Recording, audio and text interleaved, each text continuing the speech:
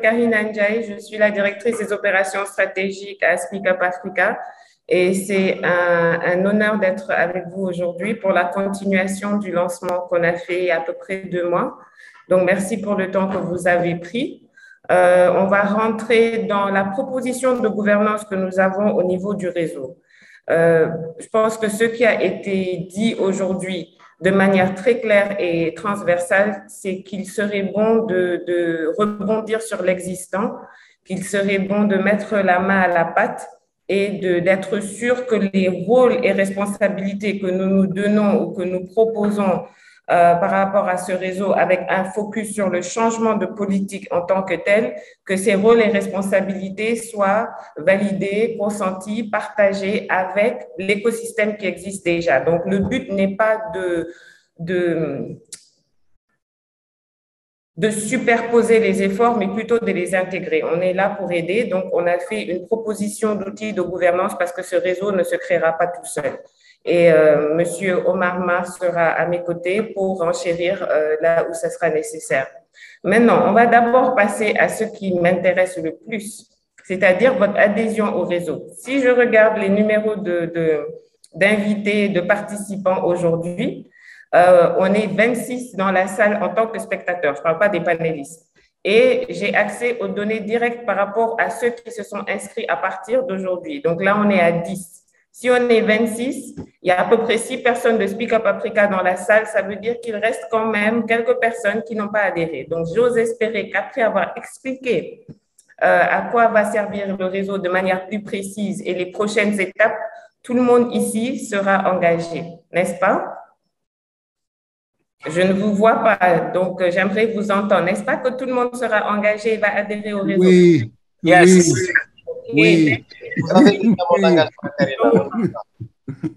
Ousmane, Ousmane en premier, Ousmane. Hein? Attendez, je regarde parce que là, moi, j'ai accès à ces tables. Non, il n'est pas encore là. Donc, docteur Lee, c'est à vous de commencer, d'accord? Voilà, il y a Ousmane Lee qui lève la main d'ailleurs. Ousmane voilà. Lee, oui. oui. Oui, euh, je suis engagé à 100% pour le réseau. Merci. Attendez, comme on les reconnaît. Pardon? Je dis que voilà que Karina met un peu plus de chaleur au panel et c'est ça le, le rôle des grandes dames. Elles y réussissent chaque fois. N'est-ce pas, Pape? N'est-ce pas? Voilà, c'est très N'est-ce pas? Tout à fait. Donc, je vais aller un peu rapidement pour qu'on ait encore plus de pour échanger. Et ce que je vais, je vais présenter, en fait, est, le contexte et la justification par rapport au réseau. Et ensuite, la manière dont l'ossature ou l'arborescence du réseau a été proposée aujourd'hui. Donc, Transform Health est une coalition de plus de 50 organisations qui s'est attachée au renforcement des systèmes de santé pour relever les défis immédiats euh, posés par les challenges comme la COVID-19 en exploitant la technologie numérique et l'utilisation des données. Donc, le 23 mai 2022, et merci encore à ceux qui étaient là, Transform Health, Speak Up Africa que je représente et l'Institut Baobab ont établi un réseau régional en Afrique de l'Ouest sur la base d'une coordination interorganisationnelle pour accompagner les services de santé dans l'atteinte de la couverture de la couverture sur la santé universelle, de la, oui, de la CSU, pardon. Euh, ça, c'est important parce que, comme je vous disais, le focus du réseau est vraiment le changement de politique. Euh, nous savons que dans l'écosystème, nous avons ceux qui sont attachés à la chaîne de valeur, ceux qui sont attachés au plaidoyer qui va vers la mobilisation de ressources ou la digitalisation des services de santé, la coordination euh, plus pointue entre les outils numériques et l'utilisation euh, des données. Donc, nous, de notre côté, ce qu'on aimerait vraiment fédérer de manière euh, appuyée et, consentie, c'est euh, le, changement des politiques et comment influencer les décideurs à tous les niveaux euh, dans ce sens. Donc, la structure de gouvernance du réseau est composée de différents groupes de travail qui représentent des secteurs spécifiques. Donc, on parle encore une fois de cette approche intégrée multisectorielle. Les partenaires et les membres du réseau travailleront ensemble pour y parvenir en tirant parti de leur propre réseau et coalition, de leurs connaissances, de leur influence collective et de leur engagement auprès des donateurs, des gouvernements et des institutions multilatérales afin de garantir un environnement favorable. Comment est-ce que nous pensons y arriver? C'est en, travaillant sur l'amélioration de la réglementation, de la législation, des structures de gouvernance et de la direction du financement au niveau national, au niveau régional et au niveau global.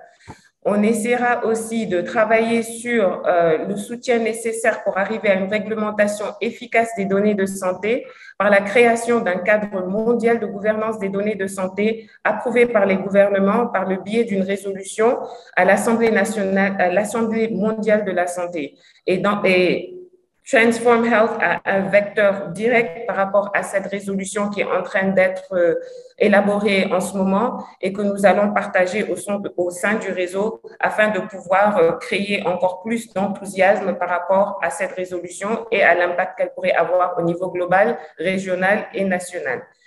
Euh, nous allons aussi travailler sur un financement plus important et surtout mieux coordonné et aligné pour accélérer la transformation numérique inclusive équitable, durable dans les systèmes de santé des pays à revenus faibles et intermédiaires. Donc, euh, comme je vous disais en haut, euh, nous sommes trois en ce moment à avoir travaillé sur euh, la fondation et la création de ce réseau, mais nous serons encore plus nombreux à, à, à travailler sur sa pérennité. Donc, quels sont les objectifs clés du réseau de la santé digitale en Afrique de l'Ouest? Nous voulons participer aux efforts régionaux pour la systématisation de la digitalisation inclusive et efficiente des services de santé. Nous voulons renforcer, amplifier, disséminer les efforts des parties prenantes existantes dans le domaine de la santé digitale. Nous voulons promouvoir les effets positifs et l'impact de la santé digitale auprès des parties prenantes. Euh, je pense que ce qu'on veut dire par l'impact de la santé digitale, c'est plutôt l'impact de la santé, de la gestion euh, digitalisée de, de, la santé et surtout au niveau des, de, de nos pays d'intervention qui pour le moment sont le Mali, le Sénégal, euh, le Burkina et aussi le Bénin sur le long terme. Euh, dans la plupart de ces pays, les systèmes de santé sont décentralisés, ce qui implique un aspect digital et numérique automatique. Et donc, comment est-ce que nous aidons euh, les, les, les, décideurs et, et, les programmes nationaux, les ministères de la Santé, de l'Éducation, etc., et du numérique à pouvoir euh, concentrer leurs efforts et avoir encore plus d'impact avec la communication stratégique que nous allons faire, les réseaux que nous allons utiliser et le travail de coordination que nous euh, comptons appuyer. Donc, euh, nous voulons aussi faciliter les relations et les négociations avec les acteurs de l'écosystème, donc dans le secteur privé, public et parapublic, pour trouver des solutions de modèles économiques pérennes qui permettront l'implémentation optimale de la stratégie de santé digitale. Et en tout et pour tout, nous voulons participer au dialogue régional global autour de l'impératif euh, de la bonne gestion des données sanitaires. Comment est-ce que ce... Je ne vois pas s'il y a des questions ou quoi que ce soit, donc n'hésitez pas à m'interrompre si vous en avez ou on peut attendre après. Euh, la structure de notre réseau, celle que l'on propose euh, et qui a déjà commencé à être mise en place, c'est un secrétariat, un comité de pilotage et un comité technique qui superviserait le travail des groupes. Donc, dans le secrétariat, euh, nous aurions comme mission une participation active à l'élaboration de l'architecture organisationnelle et au cadre de coordination du réseau pour une mise en place et un suivi efficient. Les membres du secrétariat sont le Barbad Institute, Transform Health, SUA, c'est-à-dire Speak Up Africa, et euh, notre expert euh, superstar régional en transformation digitale, M. Omar Mar un comité de pilotage dont le mandat durera un à deux ans, et ça, ce sera à, valider ensemble, aura comme mission d'approuver, de soutenir les grandes orientations et la feuille de route de mise en œuvre des projets de, et la stratégie de ce réseau. Euh, le comité de pilotage aura aussi comme euh, mission d'impulser le bon fonctionnement du comité technique et des groupes de travail thématiques sur la santé digitale. Euh, nous participons, enfin, nous, nous, on ne fait pas encore partie de ce comité de pilotage, mais le comité de pilotage participera aussi à la gestion des risques et des préoccupations, ainsi qu'à la résolution des différents obstacles que nous pourrons voir émerger au fil du temps. Nous avons aussi une liste à proposer pour les profils des membres que nous pensons euh, pouvoir ajouter à ce comité de pilotage euh, une des propositions, c'est d'avoir un parrain régional. Et ça, pour moi, ça, c'est une proposition, encore une fois, ce n'est qu'une proposition. Je, pense qu'avoir un parrain régional, c'est-à-dire un pays qui prendrait le lead pendant un an sur les actions euh, validées, organisées et intégrées du, réseau aurait du sens et ce serait sur une plaque tournante par an. Le focus changerait par rapport aux parents régionaux.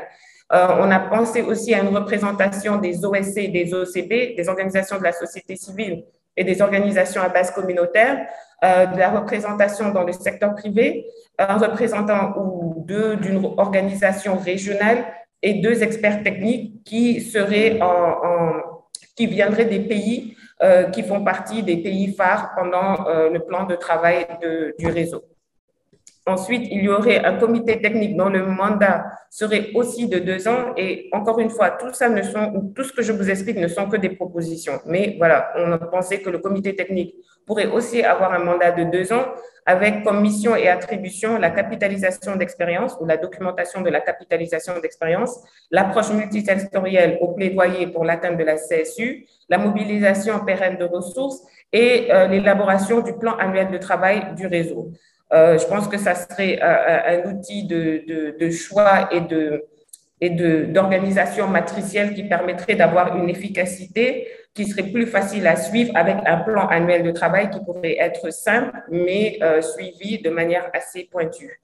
Euh, pour les membres et experts du comité technique, euh, nous avons pensé à des experts dans la santé publique et ou digitale et des experts à tous les niveaux, dans l'épidémiologie, dans la bonne gestion des données, des experts dans le genre, dans l'humanisme, dans la décentralisation des systèmes de santé, dans la gouvernance et le plaidoyer et dans les infrastructures digitales. La liste n'est pas exhaustive.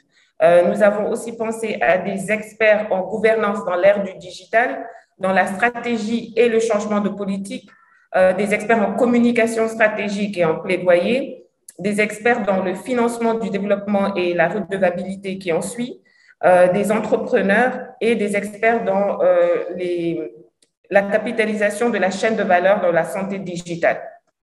Donc, quel serait, et j'ai presque fini, ne vous inquiétez pas, quel serait l'intérêt d'un partenariat ou de, de, la participation à notre réseau? Euh, Nous formons une bien que rebondissant sur l'existant, nous sommes déjà une plateforme multipartie qui offre aux membres la possibilité de collaborer sur une série de questions qui permettront euh, d'accroître l'influence de, des parties existantes et des parties qui se joindraient à nous pour pouvoir atteindre nos objectifs.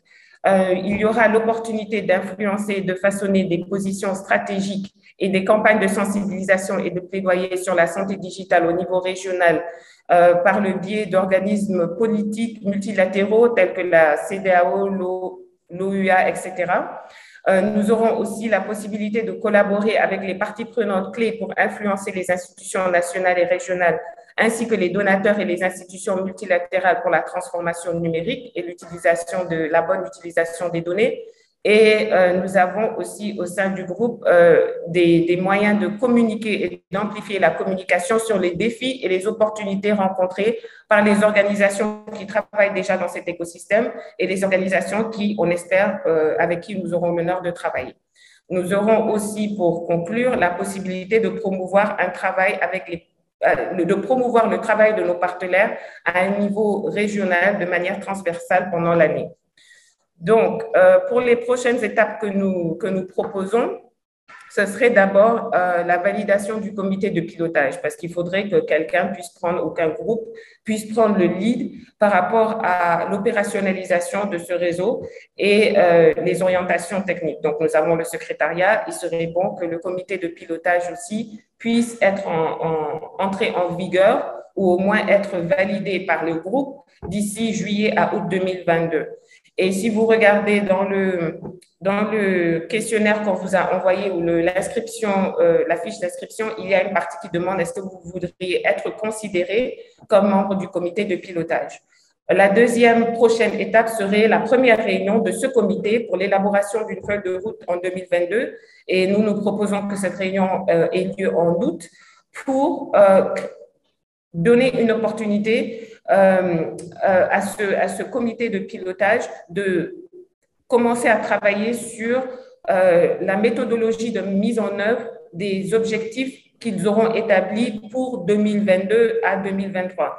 Maintenant, il ne reste pas énormément de temps en 2022, donc la proposition que nous, que nous faisons, c'est de rebondir sur les, les instances de coordination, sur les forums, sur... Euh, je crois qu'il y a Digital Week qui commencera bientôt, donc d'utiliser ces, ces, instances de coordination et de, communication sur la santé digitale, ses acquis, ses défis, etc., pour pouvoir parler du réseau, pour pouvoir renforcer le réseau et pouvoir orienter la discussion qui, aurait lieu pour pouvoir établir un, un plan d'action euh, qui tiendrait la route pour 2023. Donc, voilà euh, notre proposition. Je n'ai aucun problème à partager ce document avec vous, euh, mais euh, j'espère que j'ai été assez claire, bien que très rapide.